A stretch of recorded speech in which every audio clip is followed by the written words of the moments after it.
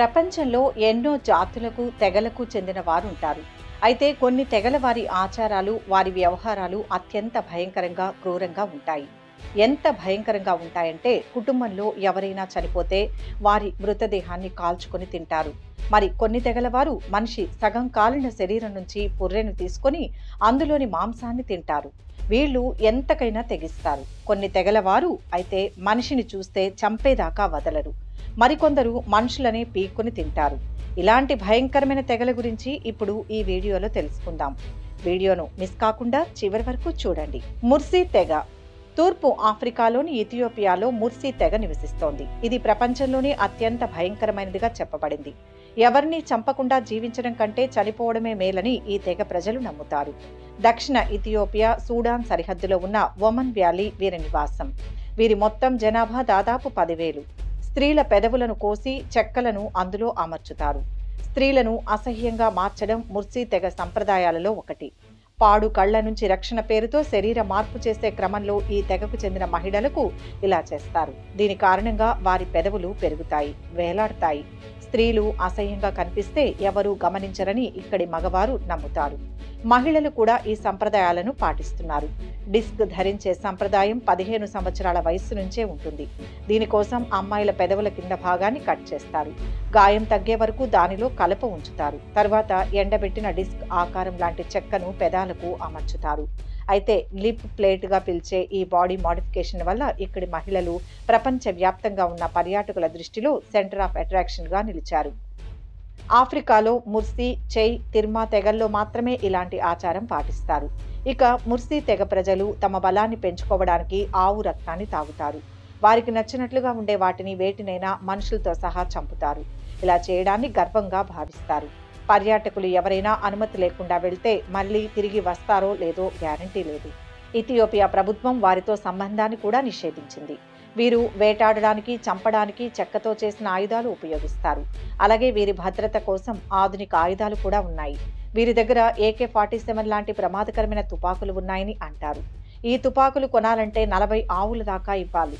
ఇతర దేశాలైన Sudan Somalia నుంచి వీరు చాలా ఈజీగా ఆయుధాలను సంపాదిస్తారు. అందుకే ఈ తెగ చాలా డేంజర్ అని చెప్తారు. సెంటినలీస్ బయటి ప్రపంచంతో ఏమాత్రం సంబంధం లేకుండా కేవలం ఒక చిన్న దీవికే పరిమితమై జీవిస్తున్న అతి కొద్ది ఆదిమ జాతుల్లో సెంటినల్ జాతి ఒకటి. వీరు నివసిస్తున్న దీవి అండమాన్ ద్వీప సమూహంలో ఉంది. వీరు ఆఫ్రికాలో ఆవిర్భవించిన మొట్టమొదటి మానవ జనాభా అని అంటారు. వీళ్ళు దాదాపు అరవై వేల సంవత్సరాల నుంచి ఈ అండమాన్ దీవుల్లో నివసిస్తున్నారు. ఇతర అండమాన్ దీవుల్లోని ఆదిమ జాతుల భాషకు ఈ సెంటినలీస్ భాషకు ఏమాత్రం పోలిక లేకపోవడాన్ని బట్టి వీరికి తమ చుట్టుపక్కల దీవుల్లోని ఆదిమ జాతుల వారితో కూడా కొన్ని వేల ఏళ్ళుగా సంబంధాలు లేవని అర్థమవుతోంది. సెంటినలీస్ తెగ ప్రజలు బయట వ్యక్తులను తమ ద్వీపంలోకి ఎట్టి పరిస్థితుల్లోనూ అనుమతించరు. అలా ప్రవేశించిన వారిని చంపకుండా వదిలిపెట్టరు. రెండు వేల నాలుగు సునామీ భారతదేశంలోని అనేక తీర ప్రాంతాలను నాశనం చేసింది.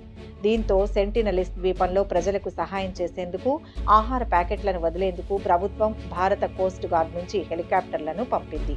వీటిని చూసిన తెగ ప్రజలు వాటిపై బాణాలతో దాడులు చేశారు. రెండు వేల ఆరులో చేపల వేట కోసం ఇద్దరు భారతీయ మత్స్యకారులు ఈ ద్వీపానికి దగ్గరగా వెళ్ళడంతో సెంటినలిస్ ప్రజలు వారిని చంపి ఇతర ప్రాంతాలపై తమకున్న విరక్తిని చూపించారు. రెండు వేల పద్దెనిమిదిలో కూడా ఇక్కడి ప్రజలకు మతబోధ చేయాలని వెళ్ళిన జాన్ అలెన్ అనే అమెరికన్ క్రైస్తవ మత ప్రబోధకుని కూడా సెంటినలిస్ దారుణంగా చంపేశారు. తమకు ప్రపంచంతో సంబంధం లేదని తమను ఇలాగే ప్రశాంతంగా వదిలేయాలని పదే పదే తెలియచేస్తుండటంతో భారత ప్రభుత్వం వారి అభ్యర్థనను అంగీకరించింది.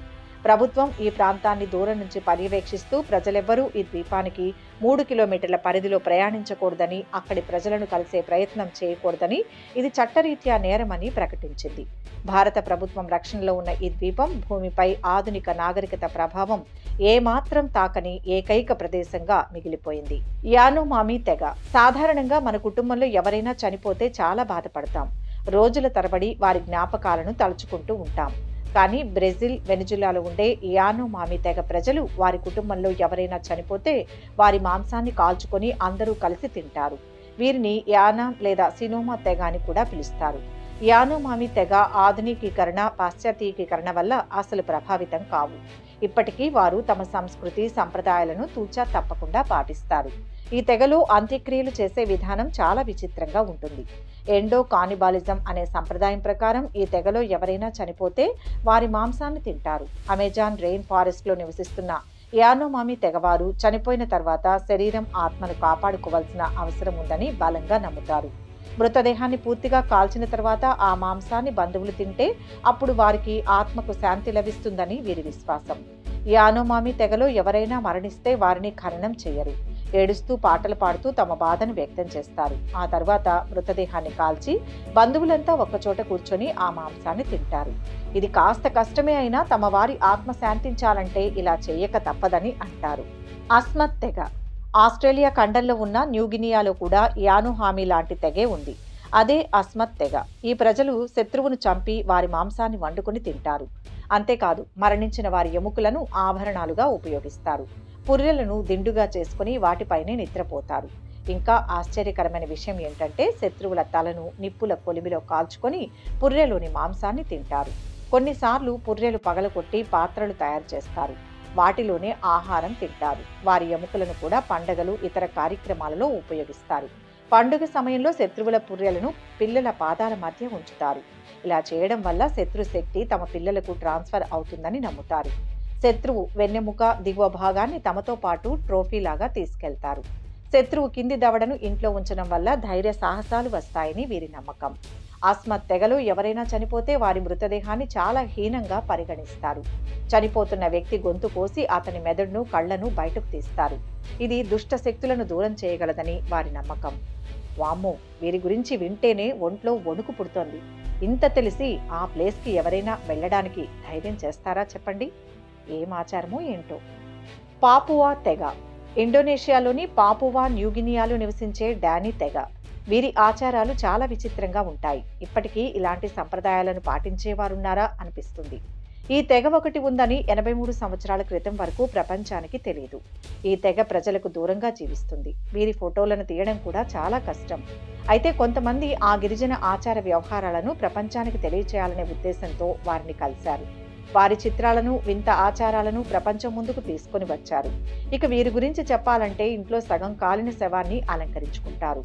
వందల ఏళ్ళ క్రితం ఈ మనుషులు మనుషుల శవాలను తిని జీవించేవారు. కాలం మారుతున్న కొద్దీ జంతువులను చంపి వాటి మాంసాన్ని తినడం ప్రారంభించారు. ఈ తెగ మరో విచిత్రమైన ఆచారం ఏంటంటే తమ బంధువులు లేదా సొంత కుటుంబ సభ్యులు ఎవరైనా చనిపోతే వారు ఆ మృతదేహాన్ని పూడ్చిపెట్టరు లేదా పూర్తిగా కాల్చరు. సగం కాల్చి ఆ మృతదేహాలను ఇంటికి తీసుకొని వస్తారు. సగం కాలిన శవాన్ని అందరూ తాకకూడదు. మృతదేహాలను సగం వరకు కాల్చిన తర్వాత ఈ వ్యక్తులు దానిపై పంది కొవ్వును రాసి ఆ శవాలను మమ్మీలుగా చేసి ప్రత్యేక గుడిసెలో ఉంచుతారు. ఈ గుడిసెలోకి అందరినీ వెళ్ళనివ్వరు. ఎంపిక చేసిన కొందరిని మాత్రమే గుడిసె లోపలికి అనుమతిస్తారు. వారు కూడా మమ్మీని తాకరు. ఈ తెగ అత్యంత ప్రమాదకరమైన ఆచారం ఏంటంటే ఎవరైనా చనిపోయినప్పుడు ఆ వ్యక్తి కుటుంబంలో ఉన్న స్త్రీ వేలును కత్తిరిస్తారు.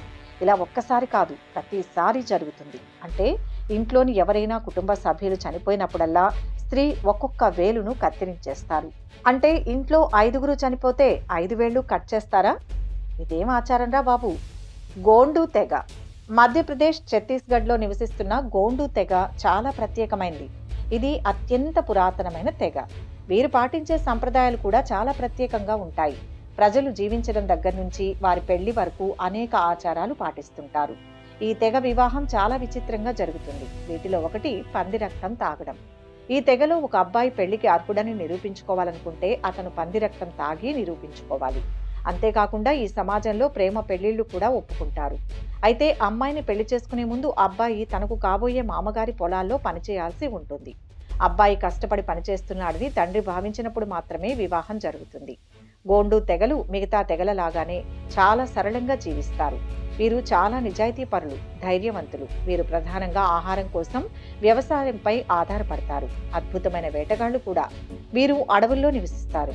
వీరు ఉండే ఇళ్ళు ఎక్కువగా మట్టి గడ్డితో చేసి ఉంటాయి. చైనీస్ ఫిషింగ్ తెగ ఈ తెగ గువాంగ్సీ చైనాలో ఉంది. భూమి మీద ఉన్న అన్ని తెగలలో ఈ ఒక్క తెగ మాత్రమే ఇంకా కర్మోరెంట్ ఫిషింగ్ టెక్నిక్ను చేపలు పట్టడానికి ఉపయోగిస్తోంది. పక్షులు చేపలను తినకుండా ఉండడానికి ఇక్కడి మత్స్యకారులు పక్షి గొంతుకు ఒక వల వంటి వస్తువును కడతారు. దీనివల్ల ఆ పక్షులు పెద్ద చేపలను మింగలేవు. అప్పుడు పెద్ద చేపలను వీరు పట్టుకుని ఆహారంగా తింటారు. ఇలాంటి భయంకరమైన తెగలు ప్రపంచంలో చాలానే ఉన్నాయి. ఈ వీడియో కనుక మీకు నచ్చినట్లయితే లైక్ చేయండి షేర్ చేయండి. మరిన్ని ఆసక్తికరమైన విషయాల కోసం మా ఛానల్ను సబ్స్క్రైబ్ చేసుకోండి.